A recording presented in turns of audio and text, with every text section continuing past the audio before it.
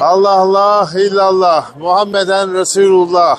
İki yiğit çıktı meydane, ikisi de birbirinden merdane. Altta kaldım diye üzülme, üste çıktım diye sevinme.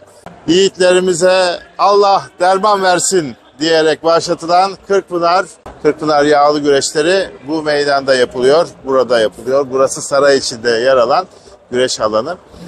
Temmuz ayının ilk haftasında yapılır. Üç gün sürer bunlar ama baş pehlivanlık güreşleri de iki gün boyunca olur.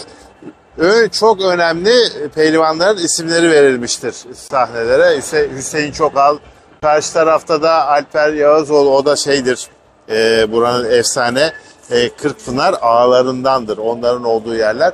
Burası genellikle orta tarafta da bir tane hakem kulesi vardır. Basın protokolü basın vardır.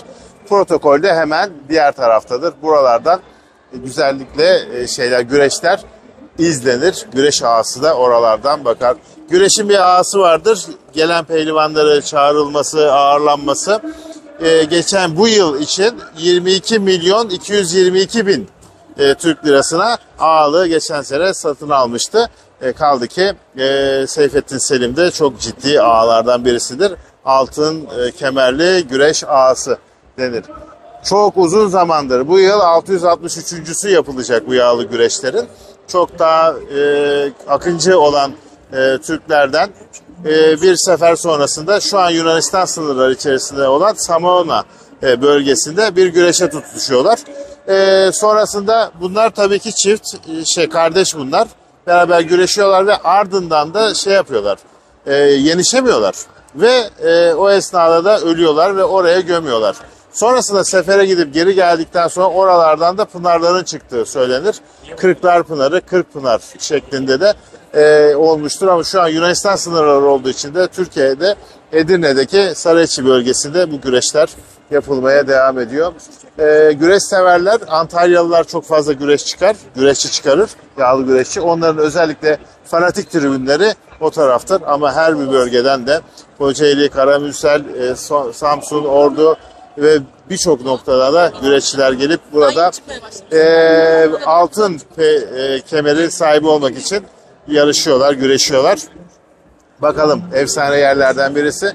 Burası çok ciddi bir kültür. Bu kültürün de devam etmesi için her şeyinden geleni yapılıyor. Edirne Belediyesi düzenliyor bu güreşleri. Ee, genellikle de burada seçilen birinci olan e, baş pehlivan da Türkiye'nin baş pehlivanı ilan ediliyor. O kadar da kuvvetli, güzel bir yer burası. Bu görmüş olduğunuzda kırmızı dipli mumu gösteren bir heykel. Pehlivanlar Kırkpınar'da bu kırmızı dipli mumla çağrılırlardı. Bir Kırkpınar Marşı yazılmıştı. Edirne'nin e, köşe yazarı, e, şairi Beyazıt Sansı tarafından burada da e, efsaneleştirilmiş. Kırkpınar Yağlı Güreşleri UNESCO'nun insanlığın somut olmayan kültürel mirası olarak da kayıtlara geçmiş.